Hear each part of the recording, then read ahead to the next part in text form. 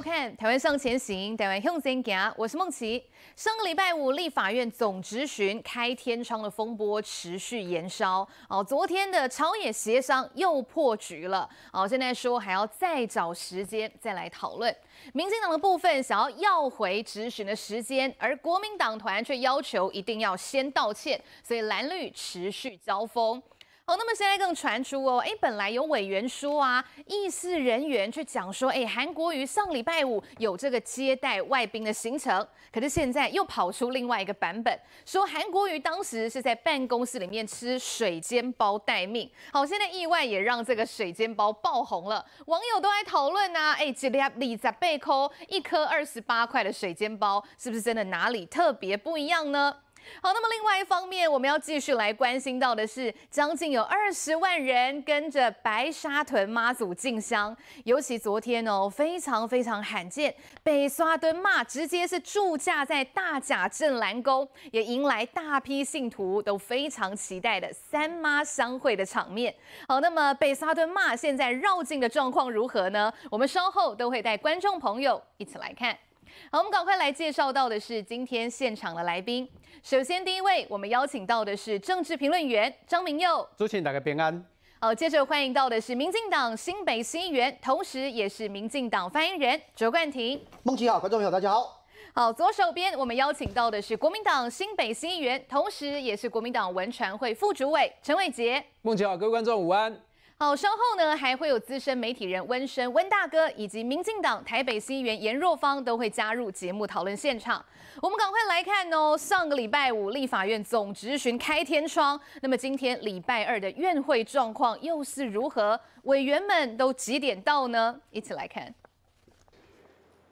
总执询开天窗后的首次院会，民进党立委陈秀宝八点五十就已经坐在议场等待，但他被通知的质询时间明明是十一点。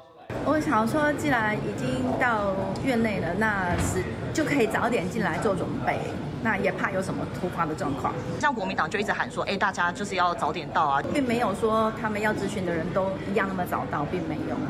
陈秀宝早到两个小时，就怕执行权又被没收。同党的钟嘉宾也提早半小时到场。反观国民党立委，大多还是在前一位立委执询时才到，像叶元之就提前十分钟到。要是像上周五这样有人迟到被跳过，恐怕来不及进场，再度上演开天窗场面。如果就如国民党委员所说的，就是开议时间就要准时到。里面钟嘉宾委员正在质询，是不是国民党的议场都是空的？接下来的葛如君还有叶元之、张家俊，你们人在哪里？不是应该今天早上九点钟就要坐在那里等候吗？林楚英党起纠察队，拿着手机穿梭一场，记录下国民党立委位置空荡荡的画面。其实，大部分立委质询前都是在研究室等待，提前一到两位立委的顺序进场。后面要质询的国民党委员坐在哪里？他们可能现在就像当时我一样，我们正在我们的研究室里面，正在准备他们的质询内容。这个没有错，这个是立法院立委的常态。我们随时都会注意说现场的状况，所以我们都会把呃这个呃电视是开着的。前两个在咨询的时候，我们就会过来准备。那现在党团也会提醒说，哎，尽量可以早点到啊。除了自己多注意，党团也安排干部盯场，多管齐下，确保执询权不受损害。哦，现在不止立法院院长韩国瑜规定熊班，大家在盯着看委员们有没有好好在位置上，现在也成为关注的焦点了。立法院的状况，哈，我是赶快先来请教一下明佑哥啦，哈，因为上礼拜这个上礼拜五总质询怎么会开天窗，哈，这个紧接着把跨柜集中进行，所以呢，后来现在蓝绿吵成一团啦。那昨天三党协商，哎，没有结论呢，公规波最后说啊，个锤子刚好择日再议。怎么会这样？哎，昨天讨论了那么久，到底是卡在哪里呢？来，明佑，我觉得是这样了哈。立法院有立法院的常态哈，因为立法委员要进到委员会去做质询的时候，第一个他们可以对调时间的，哈，他们顺序是可以对调，只要对方同意，我可以把它往前排或往后排，写个对调单。哦，你两个恭贺，那跟议事人员讲好，对对赛啊。然后第二件事情是，一般在委员会的时候，如果各位注意过的话。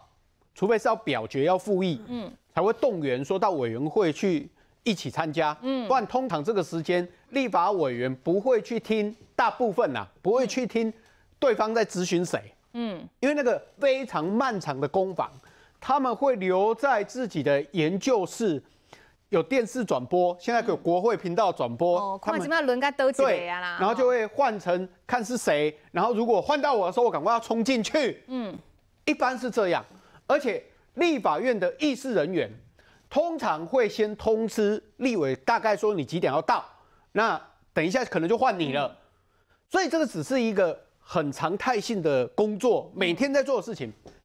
我觉得这一届的立法委员哦，了不起啊，对，北波赶快对呢哈，因为到目前为止啊，开议到目前为止，令做下面对人民好的代志，嗯，大家拢咧为着家己的表演场，然后做足了功课。我想问，民生法案要不要通过？当天有这么多的事情要来咨询经济部，你们要不要咨询？所以我不知道为什么。嗯当然，第一个罗明才为什么你要迟到嘛？为什么就被韩国语代替嘛？那韩国语是不是不懂议事规则呢？还是不懂议事常态呢？然后忽然间你要休息，停止，然后没收下午的咨询权。我跟各位讲，你怀疑包括若方里起议会、冠廷、嗯，伟杰高伟杰拢里起议，会，大家都知道，到委员会的时候，你们家的电视都会开着，嗯，因为都会注意看说，哎、我现在要准备资料，看一下说，哎、刚才大概讲什么，嗯，哦，是不是什么时间点，议事人员打电话来说，我要不要冲到会场？所以助理在旁边都会很紧张，哦，等一下要换议员喽，要到立委喽，你要赶快先到议场去哦，因为我以前是当助理，我都知道这就是习惯。那我不知道韩国瑜你也当过立立委不是吗？为什么你连这个事情都可以搞成这么复杂？嗯，然后傅昆奇以前没看你什么表现呢、忽然间呢，现在大家都要照议事规则来，所以林楚云才说，不然我来做纠察队，以后谁没有到议场，我就一一点名。嗯，是谁要去玩这种东西的？要大概套炸高点的拢这对呀，未来你会议，你你会委员拢分一台笔记型电脑，后的人你开委员会拢总去议场内底资料家己吹，合理吗？合理吗？我想问各位，这个立法委员准备的资料，还是一群人帮他准备的资料比较丰富呢？所以今天我根本搞不清楚国民党为什么把这个事情变成一种攻防，变成一种一种游戏。哎，这个事情陈廷飞抗议的时候，议事人员出来解释完，本来就应该要平息了。那他们抗议咨询权的问题，嗯，作为立法院的大家长，你刻意说哦，那我们来朝野协商，嗯，那当然朝野协商，大家就要开始攻防啦。啊，三个动三个无赶快意见呢，，啊，无赶快意见，包括要不要再开公听会，嗯，好，然后要不要还给你咨询，然后傅昆潜强烈的说，我们就照规则来，嗯，好，如果要照规则来，我先跟副委员讲，以后大家照规则来，委员会开会的时候大家全部到，嗯，要不要？你这样会好做事吗？你国民党会好做事吗？你这样咨询的内容可以符合民意吗？所以今天这个问题，我觉得到目前为止不应该再吵下去了啦。嗯，这一届立法委员相当丢脸呐。为什么？我如果是人民，我缴税金，我还要付你薪水，我刚刚看新闻都是在玩 gay 的新闻呢，然后不是谁架着谁，不是陈玉珍在那边架着人家，然后喷口水，怎么样？啊，不然就徐小新那边比这样子。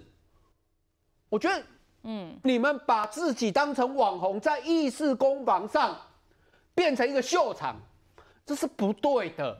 台湾有很多问题要解决，最离谱的是谁？黄国昌。要么你提出个办法出来啊，你永远没有办法。嗯，就说哦，我哈认为民进党国会改革跳票啦，永远都在讲国会改革。人家礼拜四要召开的时候啊，你们又意见一堆，嗯啊，所以我我当时唔知道讲大家把这个当成一个秀场，还是因为现在网络资讯快速化的原因，是变成每一个人都想表现自己。嗯，还有我先跟韩国瑜讲一下，要吃水煎包，不用跑那么远。嗯，而且我告诉你，一颗不用二十八块。我以前在立法院很长的时间，我十几年来，我不是吃香鸡排，而米爽今麦不亏啊。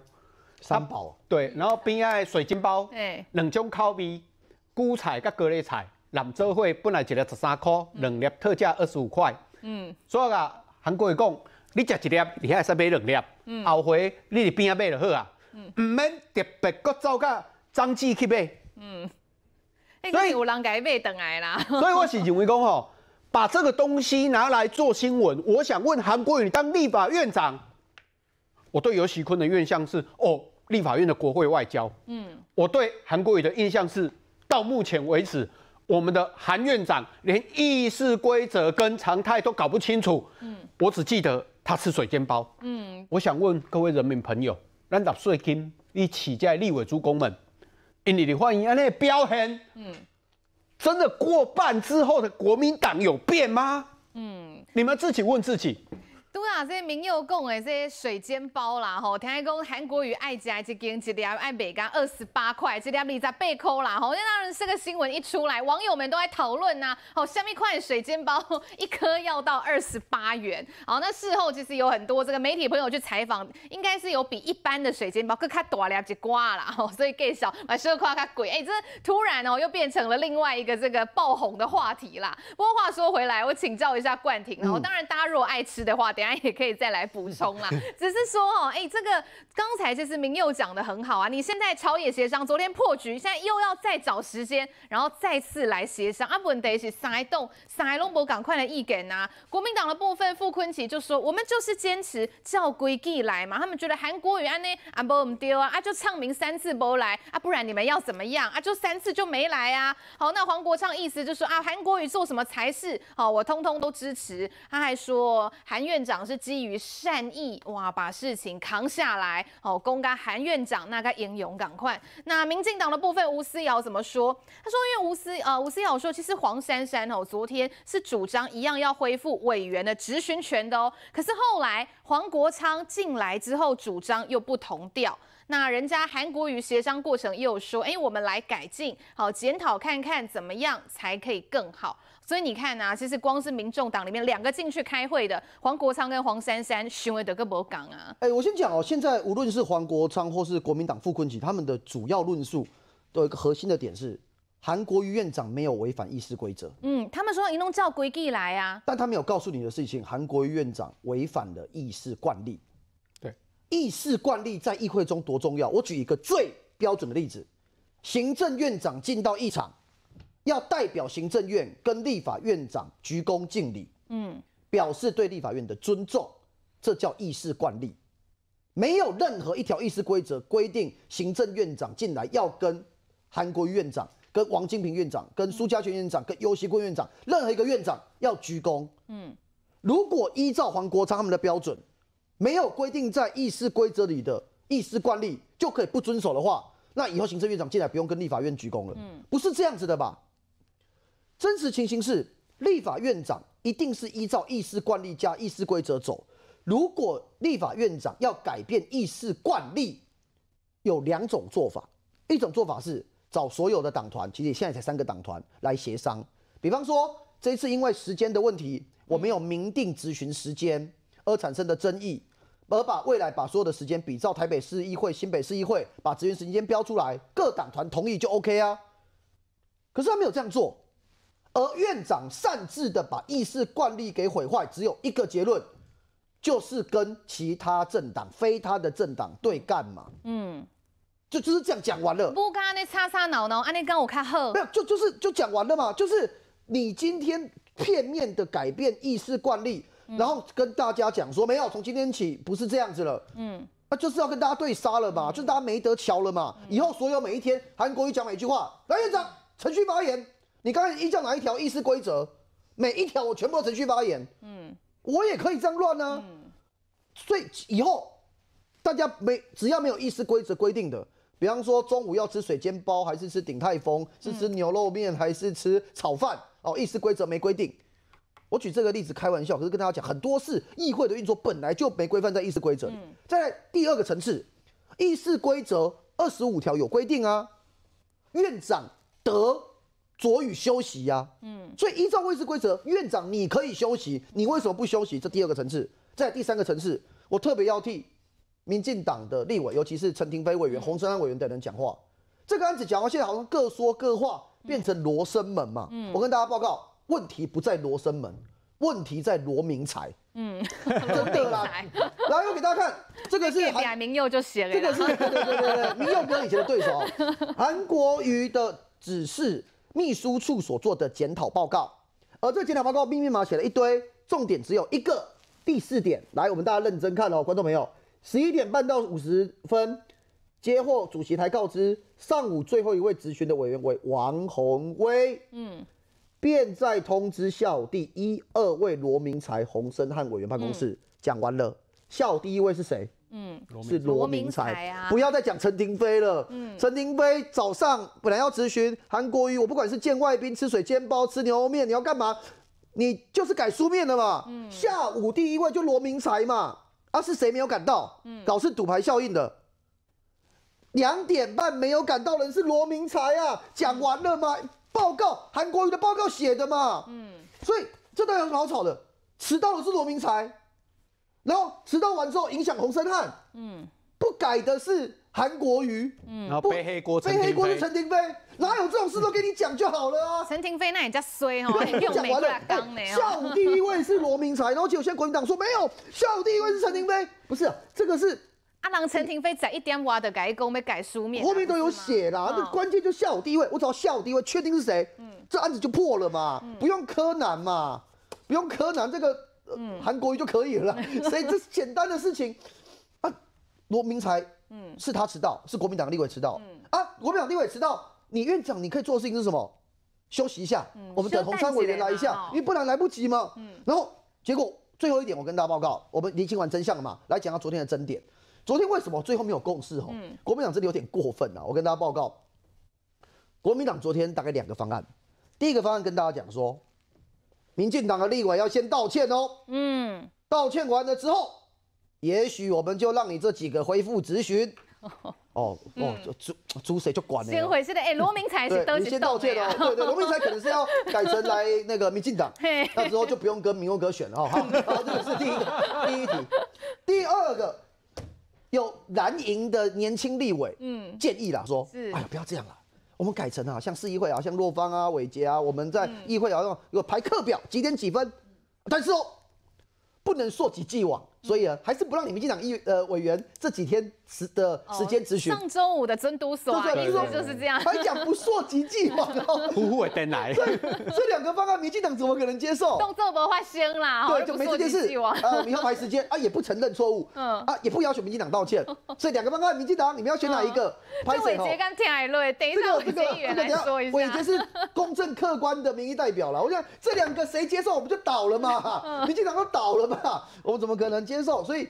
就当然就无疾而终啦。那现在我觉得还是韩院长要发挥他智慧啦。哎我觉得你不要被哦傅坤奇跟黄国昌欺负啦。我们相信院长有智慧啦独排。众议哦，恢复大家咨询的时间，这样才对了哈。该报尾的报后浪啦，吼，哎，来伟杰这边来供，因为刚才其实冠廷把整个时序都讲完了，人家陈廷飞当天大概十一点半左右就跟医师人员讲，他要改成书面报告。哎、那丁桃北壮欧里马弄下啊，哦，就是通知下午第一位的是罗明才 哦，所以刚迟到哎，没来是罗明才。那你这样子，你们国民党还要民进党跟你们道歉，安内干丢来。我觉得这件事情啊，我觉得环节非常多啦。不管刚刚冠廷议员提到的规则也好，惯例也好啊，我觉得呢，对于韩院长他的所作所为，他基本上他为什么会召开这次的朝野协商，就是说好。或许你们认为这一次我只按照规则来做，嗯，可能让很多的议员他没办法如如按照他原来的规划来执行，啊，所以呢，好没关系。那过去有这样的惯例，我说真的，他也是第一天当院长嘛，好，所以哈有这样的惯例，你认不认为需要来秘书长改提册啊？他或许秘书长就跟他说：“你按照规则走嘛。”我们说真的，惯例跟规则还是以规则为优先。但是我说真的，有些时候立法院的这些议场还是要处理得更好嘛？要处理的更圆满、更好，让大家各党各各派都可以有充分的发言那个时间跟机会，所以才会才会召开这个朝野协商嘛。所以我会觉得说，其实我觉得网络上的大概意见非常分歧，但有人认为国民党啊这个韩院长没收他的执行权，又有人认为说啊，其实不管怎么样，你下午就应该要提前来准备。所以我会认为说，当然这过程当中，我认为可能在这个助理跟议事人员之间的一个沟通协调上，可能可以更加的细致跟啊这个跟跟超前的一个来来来来准备，就是说，哎，好，我大概确定啊罗明才要。书面咨询了，赶快通知下一位的议那个立委，赶快要准备，或者说他早就知道了，就应该先通知。当然我说真的，因为过去我想，不管民幼冠廷，我们都在立院，我们都在立院当过助理哦，就是说我们其实当助理人都会随时紧盯着电视，有状况会随时跟老板回报说，哎，前一个换书面，你可能要早早一点来，哦，所以但我不是说一定是助理的错误，我觉得这个环节非常的多，只是我想，因为这一届的立法院，刚刚民友也提到。啊，因为大家都希望有这个很好的表现，多哎，所以呢，大家都 对他自己的咨询时间非常的重视，所以大家希望可以善用自己的咨询的时间，所以也因为基于这样，所以我当然觉得说，当然韩院长在这方面可能除了这个规则之外。啊，这惯例应该也可以来做一个参考，让大家可以更充分的来表达自己的意见，才不会造成这样的一个啊纷纷扰扰了哦。你看，民进党说，哎，你没收我的咨询权，其实我想也不是。你说按照规定来说，我想大家也可以认同说，他就按照规定，他也唱名三次了啊，你也不在场，他只要往下一位走嘛。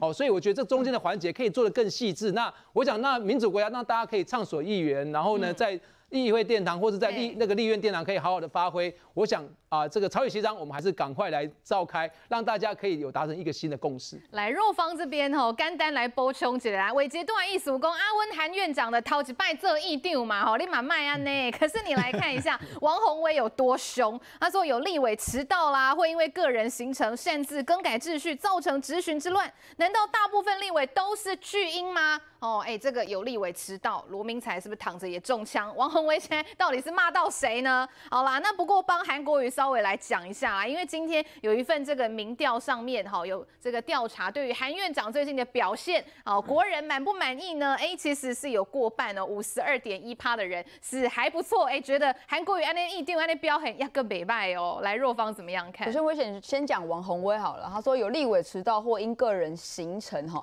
那个韩国瑜是不是立委？是。那他通知陈廷飞委员说，他因为有个人行程，因为不管是我们刚刚讲啊，吃水煎包，或者是那个接见外宾，那在上个宫被接见外宾，那这是不是他的个人行程？嗯，而更改了整个的议会的秩序，所以导致陈廷飞委员他必须，因为他真的赶不及啊，所以他说啊，那你有这个个人行程，那好，我改成书面咨询，那也导致后面的咨询之乱是谁？源头还不是这个韩国瑜院长，因为你改了这个整个的，你说你有一个行程啊，所以也导致前面说要改书面，后面才会这样嘛。所以王宏威委员，你是不是应该讲说这个巨婴是谁？这个巨婴应该是韩国瑜吧？你怎么会是说那个民进党立法委员呢？那再来，其实因为太多民众真的不晓得这个议事的规则，亦或是议事的运作，就像刚刚我们有讲到的，像我们这个台北市议会。那我们上面有研究室，我们不是分栋。可是如果说当今天前面的一个咨询小组，他有提早结束，那我们的议长为什么他会先说那休息？因为按照这个时间，人家表定时间还没有到，他会休息。那要不然他就是会打电话请议事人员打电话上来说，前面的这个他们可能会提早，那你们是要休息还是要不要就是直接赶快下来？所以都会通知。那我们赶快也跑下去，哎，我们。我们有五六七七楼，我们跑下去至少也要有一点点时间吧。对，所以，我我觉得国民党今天不用因为这样子的事件，你就说全部都怪罪在民进党。我觉得要怪，今天先怪韩国瑜。那韩国瑜，你要不要先还给这些立委一个咨询权？再来，我觉得第二点就是韩国瑜他是院长，他也是立委，他也是这一场院会的主持人、主席。那这主席是要干嘛？除了维持现场的那个秩序之外，他还有一个很重要点是要。维护这些立委的执行权呢？要不然，要不然每次大家就是在那个跟跟院会在行这个唇枪舌战的时候，立委讲什么？院长怎么样？怎么样？怎么样？院长你要主持公道，要还我执行权，不是都是叫院长主持吗？所以韩国瑜，你另外一个更重要的就是你要维护每一位立委在立法院的执行权，结果你却反而把它没收了。嗯，所以国民党我觉得不用太吵，因为今天如果你讲迟到。整个立法院是空的啊，嗯，那有没有人先坐在那边等？没有啊，大家都是时间快到的时候才会下去嘛。所以国民党你就不要哪一天也迟到，发生问题改书面，大家就讲说啊，你看你怎么可以书面？你应该实行执行权嘛。然后再来第二个就是这个民意基金会，看起来他是感觉好像韩国瑜的满意度哎，过半哦，五十二点一趴。但因为这一个的民调时间是十一号到十三号，嗯，十一号到十三号，哦，还没有发生，还没有发生剥夺这个 这么夸张的这个剥夺立委的执行权。是你做的这个满意度调查，在这之前，老实说了，韩国瑜并没有犯太大的一个错，他就是大概就是这样子，他算中规中矩，算中规中矩吗？当然就了我们咖喱咩，改喝茶有没有？改喝茶。但是，所以你说要看下一份民调，因为他前面这半段时间，从二月一号开始到十三号，他还没有出任何的大问题，也还没有出任何的一个大家会觉得说违反常理，或者是哎回归到原本的韩国语的一个状况，所以满意度大家看起来对要标准很低，你不要迟到，然后你只要乖乖坐在上面，哦，大家对于你的满意就哎还 OK 还 OK 啦。但是你要看后面的就是他已经出了这样 trouble，然后网络上大家也都开始讲说，哎，这才是正常的韩国韩国瑜终于回来了，嗯，所以后面的满意度会不会回升呢？会不会再往下降呢？我觉得也要看韩国瑜有没有把这一个行使立法的这个执行权。还给我们的民进党的立委，嗯，这个要持续来观察啦。那我们稍微休息一下，等一下回来，我们要带大家来关心到的是，因为昨天三一八是太阳花学运的十周年，那其实这一场学运大概弄怎样？因为这一场学运声名大噪的政治人物非常多，其中黄国昌跟柯文哲也可以算是代表的之一。那不过呢，这两位现在的精神跟太阳花的精神还一样吗？等一下回来继续来看。